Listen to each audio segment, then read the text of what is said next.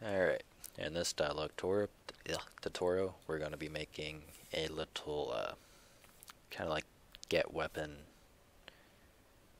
Pretty much we're going to have a list of weapons in it. We're going to be able to click on that weapon. It's going to show the picture of the weapon on the right side.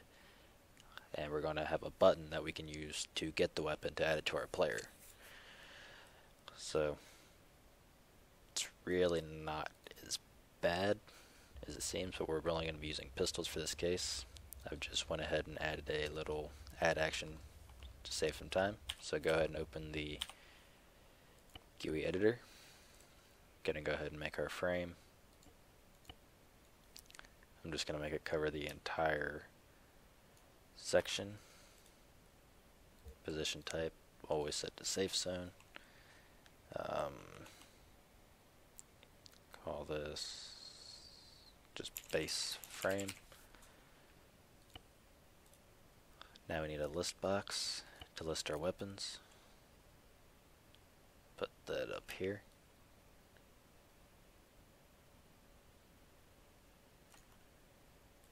Now we're going to want to have a button to get the weapons with and a picture to display the weapon to the user.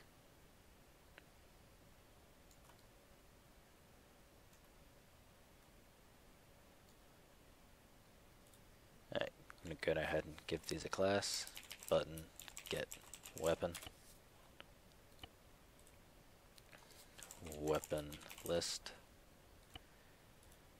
And uh, weapon picture. And they're all position type safe zones. Now, before you do anything else, go back to your folder here. That did not open it. We're going to make an HPP file so we're going to go ahead and make the first one, just call it defines save as all types dot HPP. Now we can delete the old text one. Go ahead and copy this and paste it. Name another one called control. So now leave defines open. Go back into the editor, press Control P, come back over here, Control V, and you get a lot of stuff. Just save it, close it, don't worry about it. Now open up Control. Now this is where we're going to be making our, well, dialog, so we need to go ahead and make our little base. So class, dialog, test,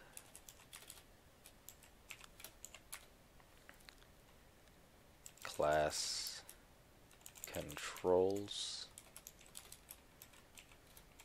Now, pretty much, oh, we need to make an IDD. So IDD equals at one, two, three, four. Alright, so leave that open. Now go back here, press Control Shift S to save it. Just dialog test. Now come over in here and paste it. You can get rid of all the little hints and neaten it up so it looks nice.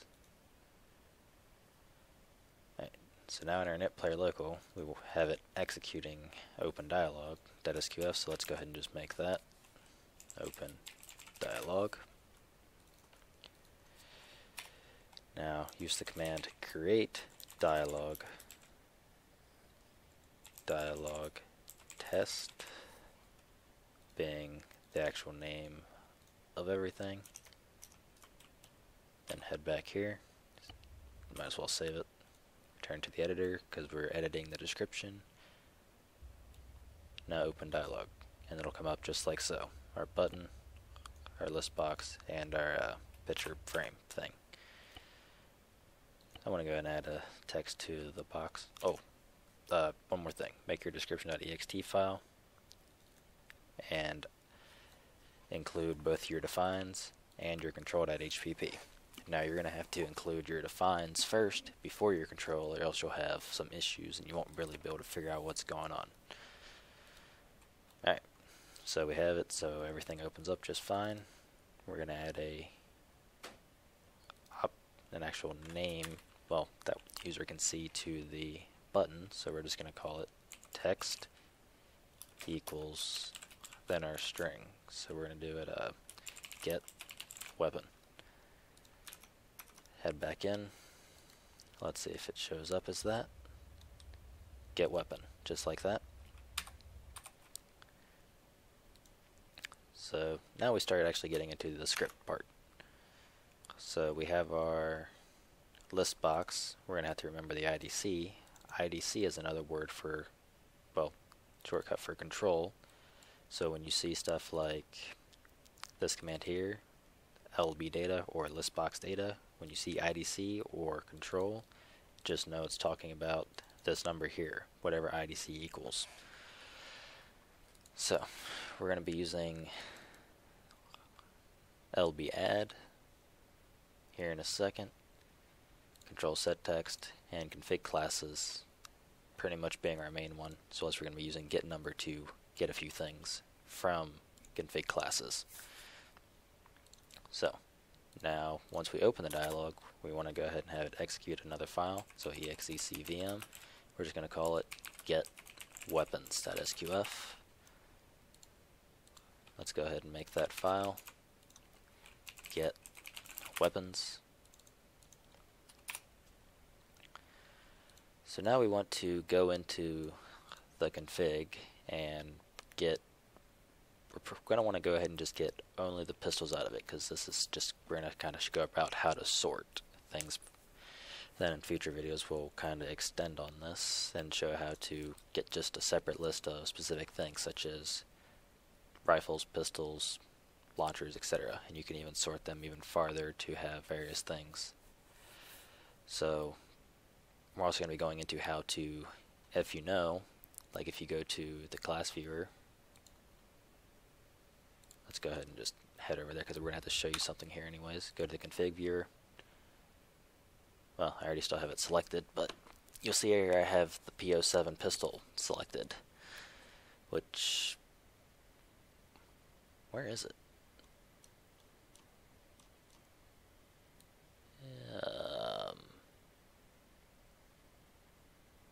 Oh, here it is. Alright, so like here's the, well, pretty much you can see the actual class name here of the firearm. Go down, you'll see base weapon. So you have one, two, well, a better one is this, the FN, to use this example. Here's the base weapon, which has no attachments. This one has like the MRD sight. This one will have the suppressor and so on.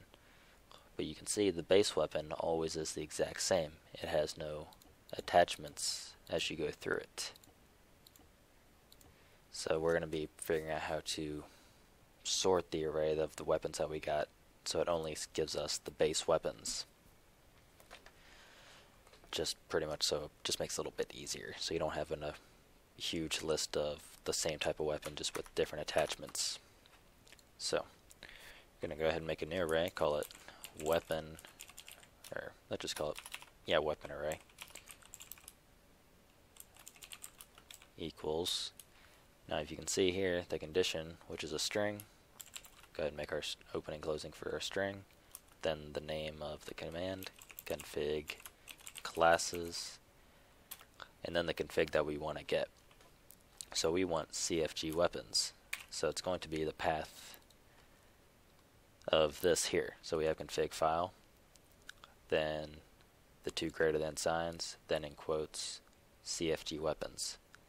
And that's how we can get our, it's pretty much going to give us the entire list of all this crap from that. So we're going to stop at CFG weapons. so it was config file, two greater than signs, in our quotes, CFG weapons. So, just to kind of give you an example, this is going to probably lag out the game, but hint, string, weapon array. Oh boy. Now when I open this, it's going to grab every single thing and it you can kind of hear by the sound. Come on, close.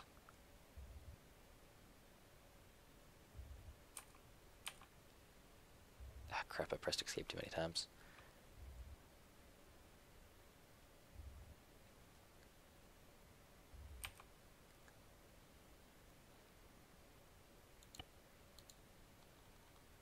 Okay, so anyways, as you can see, that list was just massive and continually going. so we're going to use the conditions here to kind of sort through it. So the conditions we're going to want to look for. Alright, so we still have the pistol selected. I want to show you all something. We're going to be getting two things, the type and the scope. Now the scope for 2 is pretty much all the weapons that you physically use normally. You can hold them in your hand, you can put them in your inventory, use them in your weapon slots, all that kind of crap. So just remember that. Now, pistols have a type of 2. And that goes the same for the rest of the handguns as you can... And I gotta scroll down again. I just selected the P07, type is still 2. Now if I head up to a rifle, such as the MX and we go down to type, it's 1. And scope is still 2. So we just need to filter out scope for 2. And type, if we want to get all the rifles, we just sort type. E we test if type equals 1. If we want all pistols, we test if type equals 2. And the same can be done for launchers and such. But we want just the pistols. So we need type equals 2. So let's go back in Notepad. I can't keep going past it. So that's going to be done in this condition here. So this is where get number comes in. So get number, then the config. So we have our magic variable x here to use, which pretty much gets all the crap that we need, and it's only going to go pretty much everything past config weapons which is all of these commands here. So we can easily get type without having to go through and define the entire list. So we're going to use get number, then it's going to be the magic variable, then it's going to be the two greater than signs, then because it is inside quotes, we just use single quotes to define our little string. So we want the type.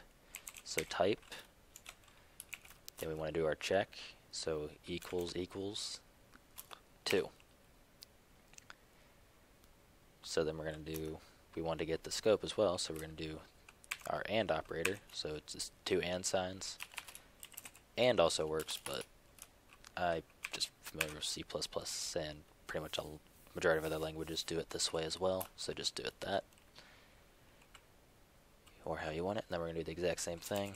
Get number x scope equals 2. So now if we hint string weapon array, it should give us a much shorter list that is not stupidly long. Open dialog, and you can see the list. It's got pretty much the path to all the pistols. So Great, now we have all that. Now we need to go through, get the name, which we're going to be getting. Uh, where is it? And I went past it. It's in the D's display name. So, like when you walk up to a gun that's on the ground, scroll wheel on it, it'll say take, and then it'll say the display name. Well, we want the display name to appear in our list box. So we're going to have to do a make another little array. So we have all the weapons, but we want to sort them kind of specifically. So we're just going to call it pistol array. Just go ahead and leave it empty. Now we're going to make a for each command. For each weapon array. And we're going to pretty much be sorting it here. So we have a couple of different things. We should have it listed here. Nope. Right. So, so we can do config name.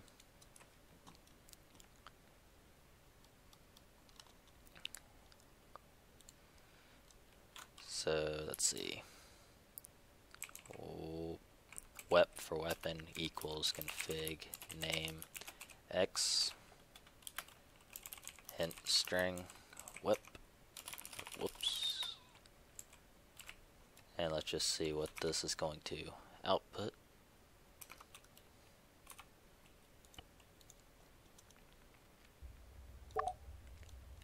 Alright so it grabbed the single class so it's grabbing the class name which is what we pretty much want to use because when we have the class name it allows us to get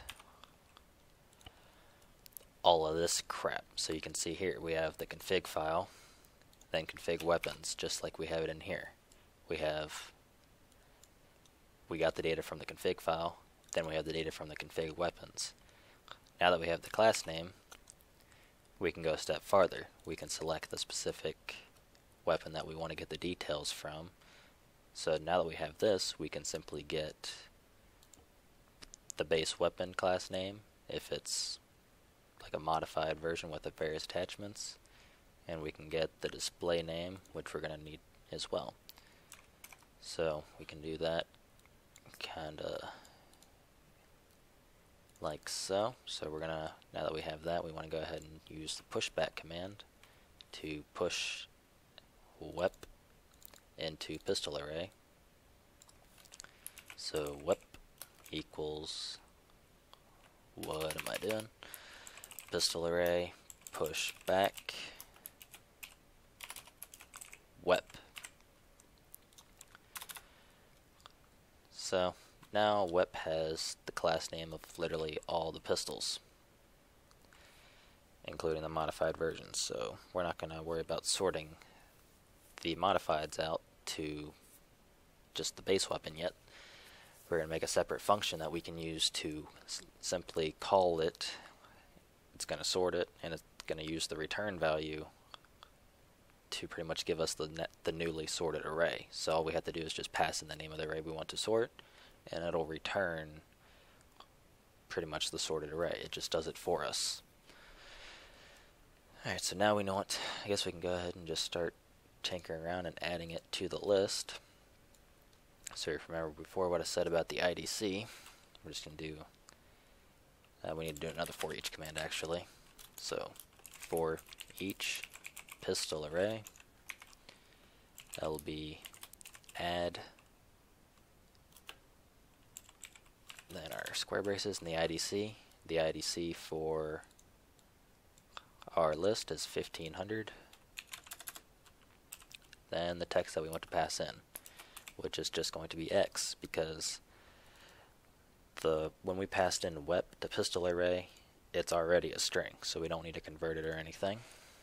So we go ahead and save it, and we restart and test it, and it should show all of those inside the list box. Just like so. Pretty soon we'll have it so when we click on it, the picture appears over here in the picture box. But now what we want, well I guess we can do, go ahead and do the picture, because that's how it's kind of a little bit more interesting. So scroll down and you'll find too far. Wait, not far. Yeah, here it is. So picture, it already has the path laid out for it. So just like we would get the display name, we would get, the, well we haven't got the display name yet, so I guess we'll go ahead and actually do that first just to show you. So we want to add the display name.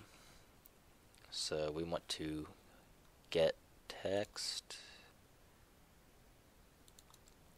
Now get text is pretty similar to get number, except well, instead of getting an integer, it gets text. So uh, wep name equals get text now we have our pretty much sort. So we want to go through config file, C CFG weapons. Now all we have to do is just X. So X, since it's the weapon class name, it's going to be this right here. Now we want to get the picture, so it's just literally called picture Is it picture or pictures? Yeah, just called pit. No, wait, we want the display name. sorry. So the display name, literally as it states, display name. Now we're going to go ahead and add wep name to the list. So now when we test it, it should show the weapon's name and not the class name. Yep, just like so. So this is what you would see when you walk up to it and you go to pick it up. So now let's go ahead and add the picture here. So go to, where's control? Here's control. And here's picture. Uh, we don't want to have anything there actually, just make it invisible, I guess. I think that's what it does when there's nothing. Alright, but for a picture, pretty much the text is just going to be the path to the picture. If that makes much sense. So, we're going to go ahead and just make another, well actually this is just going to be a continuous loop for while this is open. So while true, do. Now we need to get the picture. So we're just going to go ahead and copy this here. And make it, call it a, we want to get the one for the specific weapon, so we got to use a special command from list box. Should be list box cursor select, which gives us the index of the selected item. So, and it's the control, so index equals lb cursor select 1500. So if we select the very first element in the list, or the very top one, it should return 0, then 1, 2, so on. So now go back to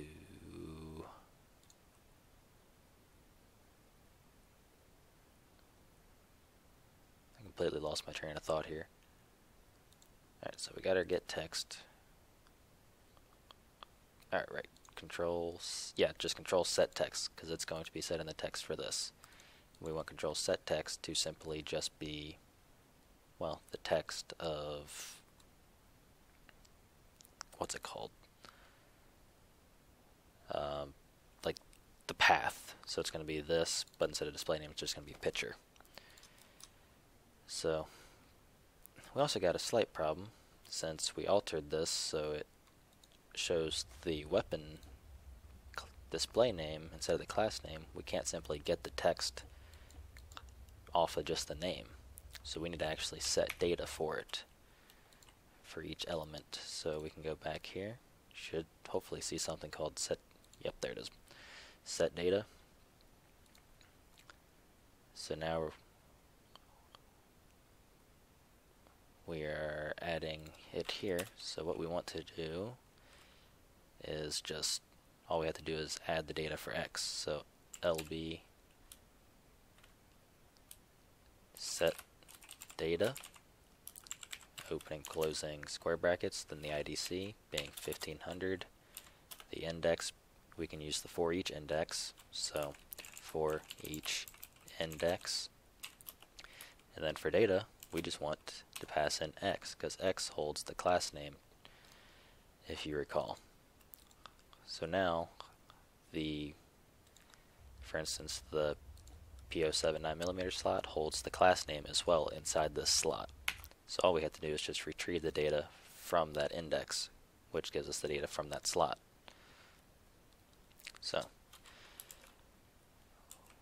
we're just going to call it weapon equals lb data 1500 and then the index that we want to get it from, which is index because we already got it here. Okay, so now we have the weapon's class name. We need to get the picture. So we're just going to copy this. Picture equals, change this to picture.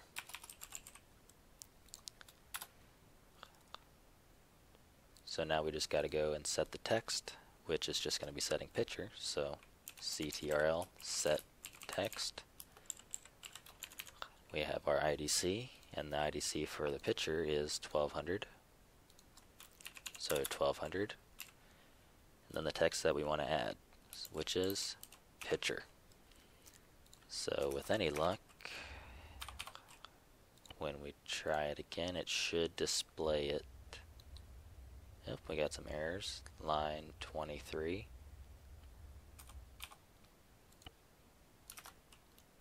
Oops, because I have X right here. X needs to be weapon. Hopefully that was the only one. I'm going to go ahead and just go back to the editor and go back in just in case. And that thing is still not going away. Alright, so we have our list of weapons here. When we click on it, it shows the picture of the weapon. So we have our everything that we want displaying just nicely, even the starter pistol for some reason. But we have multiple variations of it. Like this one should be the default, no attachments. This one should have the MRCO. This one should be the suppressor, and then this one's MRCO and suppressor. Not MRCO. I, I can't remember what that little red dot's called. Micro something. Alright, so we have it shown the picture. And that was as simple as literally just these three lines here. Well, these four lines here.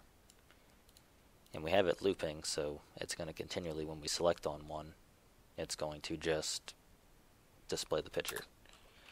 Otherwise, it would only work once when this runs and if an element is selected. So we can go ahead and just add a sleep so it's not going crazy. 0. Point, uh, that should be fast enough, I think, without it actually looking kind of dumb. Open dialog, click, show, click, show. Yeah, that's fine. Okay, so now we have a bunch of weapons of the same type, pretty much, but now we want to get just the base weapons. So we're going to go back into the game, config, find base weapon. So we're pretty much just going to be getting the class name of the base weapon, which is here, and storing that into pistol array. So we need to use get text just like before.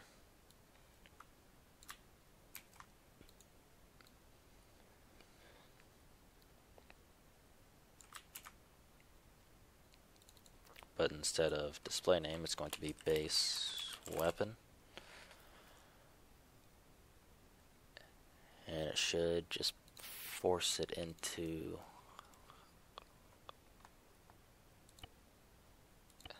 the array without any problems. There's a problem. Expected string. In X Alright, so let's see. X was. Oh, right. Um, set this back to normal. Oops. So we need to get our config name. So we're just going to call it wep class equals. Now we paste it in and get rid of x. We're just going to do wep so wep should give us the class name, which is going to in turn give us the base weapon value and store it in weapon class. So let's see if it throws any errors. It doesn't, so Oh, just to show you the difference, by the way. So hint string, pistol array. I'm going to show you a little before and after. before I run that, I want to go ahead and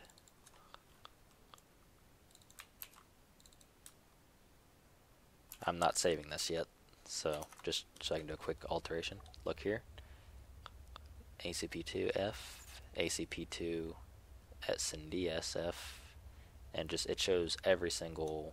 It has a bunch of different ones in it. So now, when I go ahead and save this, because we're take we're bumping in the uh, base class name instead, and I restart and do it, it has all the same. So ACP2F, ACP2F, it's just going to have multiple repeats. So this is where our little sorting uh, function is going to come in. So commands to easily sort something, you're going to want to use delete. Oh, it's right there. Delete at. And we're going to use the find command as well. And whoever wrote the example too gave a nice little example of how to do that. It's going to be the array, delete at, in that array find, and then the value you want to search for, well, for it to find. So let's just make a new function. Uh, sort weapons. Okay. So let's see. We want to do that directly after this is when we want to call it. So call sort weapons and we want to pass in an array to it. So we're going to just pass in pistol array since that's the one that has just a bunch of repeats. Now I'm going to show you how to get a return value here in a second. So we're just going to call it array equals this select 0. Then we're going to use our delete at. So array delete at. Then if you follow this guy's little example here, array find see we want to actually use a for each in here because we gotta kind of bump through everything. So for each array. So find x let's just kind of see how that goes. Hint string array and just see what that looks like. So open dialog.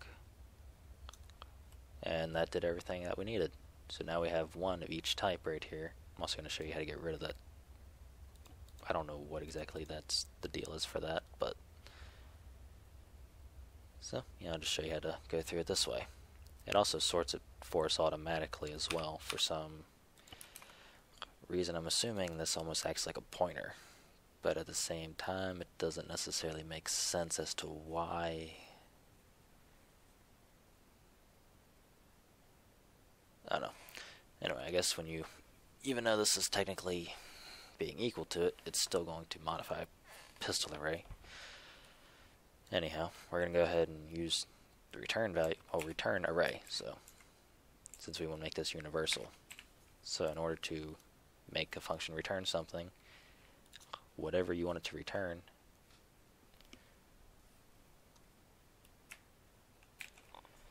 is going to be, well, the very last value or array that is at the end of the function. So if we wanted to make it return 1, you just kind of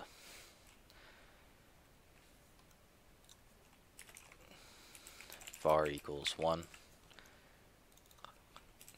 var. So now if we call it like so, pistol array equals, pistol array would now pretty much be equal to 1.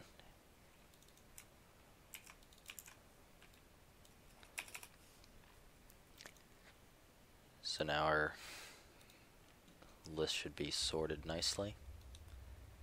It is, but we have this little invisible guy here. So we need to take care of that.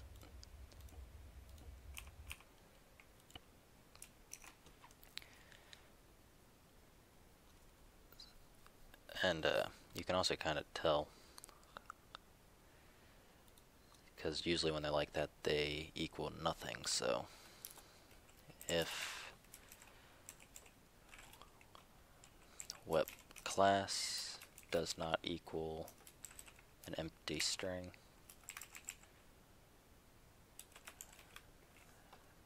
then we want to add it to the array. So it's going it should ignore that one so it doesn't appear at all. Yep just like so. Now we only have just the list of the pistols. So now we can go ahead and make get one yeah, get weapon functional by using a similar step to what we did in well, the while loop here. We're going to be pretty much just getting the index that we want it and pulling the data from it, which has the class name, and then just player add weapon to the class name. We're actually going to use the uh, Bohemia's command for it.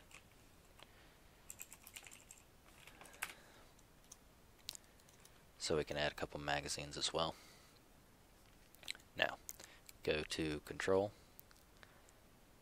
and in our button, we want it to execute a file, an SQF file. We're going to go ahead and make a new one.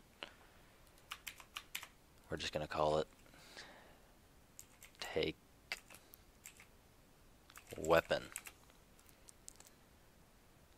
So we're going to want to have it pretty much just execute it when we press it. So in order to do stuff when you press the button, it's going to run whatever is in action. Not, don't, yeah, action shouldn't have curly braces, I mean square braces. So anything that's inside of this string it's going to do. So we just wanted to execute it, so exec vm then because it's in quotes, just do single quotes, take weapon.sqf, and just to test that we're in it, testing, go back into the game, since we made a change to technically the, the description.ext, go back to the editor and reload it. So, just press get weapon, hint, it hints itself saying testing. So we know the file is running. Let's go ahead and, what in the world? Go ahead and go back. We're going to copy these two lines where we got the index that was selected and the data from it being the class name. Now we're just going to do this command here, which is the unit being us, so player, then the weapon class name, just weapon, and then it is the amount of magazines. We're just going to do three. Then the index, that doesn't really matter. That's if you have like tracers and stuff. Then call BIS func add weapon, and I forgot.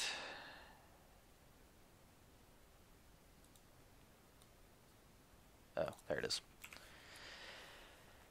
So now when we click on it, whichever weapon we select, it should give it to us. So let's go ahead and just do the 4 or 5. Get weapon. And it gave it to us with two extra, extra magazines.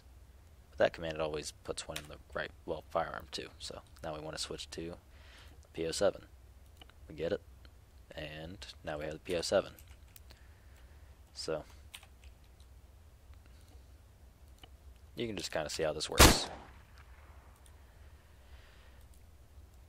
Now, because of how long this actually is, I'm on about 38 minutes so far. We'll pick off in another video and kind of go make this a little bit nicer. We should have a couple different selections, so we should able to kind of have like a little wasteland menu where we can select either, we'll make it like almost a full loadout. So we can select weapon, rifle, pistol, etc can try to make it so we can select helmets, vests, and other stuff. And maybe eventually we'll get into actually making a full mission where you have to earn cash, and then in order to actually get the weapon, you have to spend the cash on it. But that would be a very long, lengthy process, so if you know how to do this, and you can do it pretty regularly by yourself, you should be able to pretty much make what I just said without too much of a hassle. So, anyways, that's how you make a nice little weapon dialogue. Oh, um, one more thing. So if you notice I don't have anything selected and you press get weapon, nothing happens. Oh, well, usually in the other last one when I pressed get weapon that was linked to it, it threw an error. But I guess that's not the case in this one, so ignore what I said.